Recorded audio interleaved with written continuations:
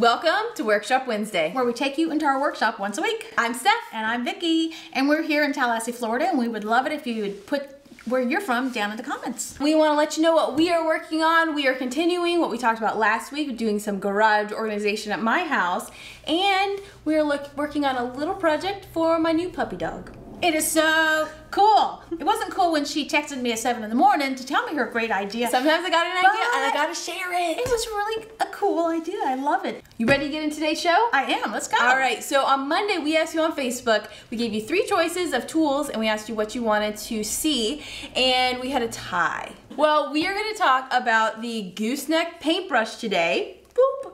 And next week we're gonna talk about the sander, which was the other winner. So if that was your vote, we will still talk about it. So I'm gonna actually head over over there and talk a little bit about this tool.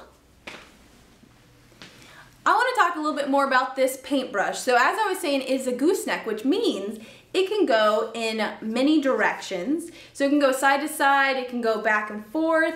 It really can be bent to all different positions, which is really cool. And you can see there's a little, it's a little struggle to uh, to move it, and that's a good thing because when you move it in position, it's it's staying there until you kind of grip it uh, back into another position. So when I'm painting, it won't move out of position, which is really, really great. So the first time I got to use this, I actually took some footage. I've never shared it before, so I thought this was a great opportunity to share it.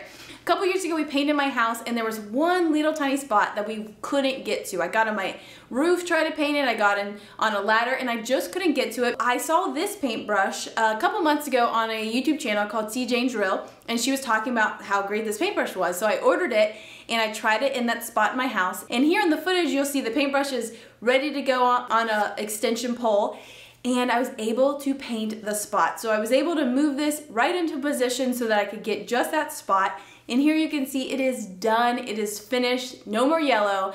This is definitely for those like weird spots that you just can't get to. Uh, so if you need something like this, highly recommended. Now, we are going to head over to mom because she has a little uh, fast DIY to share with us. So mom, what do you got? Thanks, Steph. And I do have a fast DIY. This is a home maintenance DIY, and it came about because of this bowl right here. This bowl really needs to be reconditioned.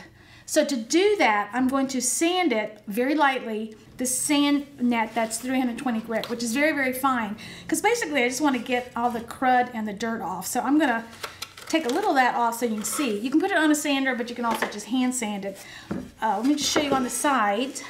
I love working with old wooden cutting boards and bowls because they're very, very easy to recondition. It's one of the things you can just take some sandpaper to it and clean it up and it's ready to go. Okay, I'm just going to do a small part of that so you can see that. So you see that right there? Now I'm using a tack cloth and this is just simply, uh, it's a piece of, I think it's cheesecloth. I don't know what's in it, but it makes it very, very sticky and it's great for wiping up the dust. Okay, you see, you really, you really, I really haven't taken off much finish, but I'm going to put a little bit of oil on this, and I'm using oil that's used for cutting boards, bowls, any place where you're to come in contact with food. And this is actually IKEA brand, but I've seen it at the Home Depot. There are many places where you can buy this. Put a little bit on, just like that, and wipe it on. I'm using an old t-shirt. Wipe it on, and so you can already see how much better it looks. So just let that dry and um, come back and just wipe off any excess that's excess that hasn't been absorbed. There you go. Good job, Mom. Thanks. Very good. Thanks. I have some projects, uh, some wood products that I'll do it. I really, really enjoy. You do? On, I do. You like cleaning and maintenance. Not for me. Not for me. So for our last segment, we are going to do a project follow-up for something at my house that we did about two years ago. So let's head on over there for Okay. that. Welcome to Project Follow Up. We are in front of my garage and we're following up on something I think we did about two years About two ago. years ago, yes. We think so. We're remembering the hot sun and having to wear Oh, sunglasses yeah, that's because right. It really was hot. Yeah. Well, but well, it's January and it's hot now. Yeah. So, oh, sorry. who yeah. Um, so we actually cleaned my garage and we did these windows and we painted it. But one thing that people have really talked about and that said, oh, that's never going to hold up is this right here. So we installed this magnetic This hardware- handle, hardware. handle and hardware set. So people said, oh, people are going to take those off. You know, kids will mess with them.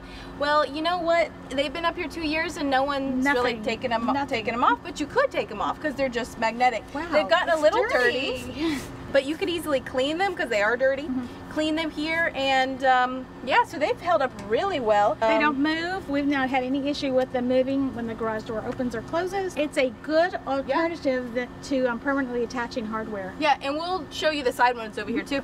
This hardware just comes off like that and just easily back into place.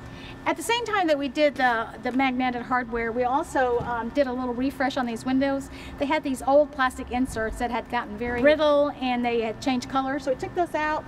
We did a little frosting on the glass and besides it being dirty, it's held up great. Thank you for joining us today. We want to see what projects you're working on, so we have a link below called hashtag try learn share where you can submit your pictures and we will share them on Workshop Wednesday. We also send out a newsletter once a week and you can sign up. There's a link below, sign up and you will get notices of what we're doing, what's coming up, and direct links to our actual post. Please comment, like, share this video. Let us know in the comments what you think, what you like, what you don't like, and you can give us some suggestions for future shows. Don't forget to head to our Facebook page on Monday where we ask a question and you can respond and that's a way to help choose a segment for our next Workshop Wednesday. Thanks for joining us. We'll see you next time.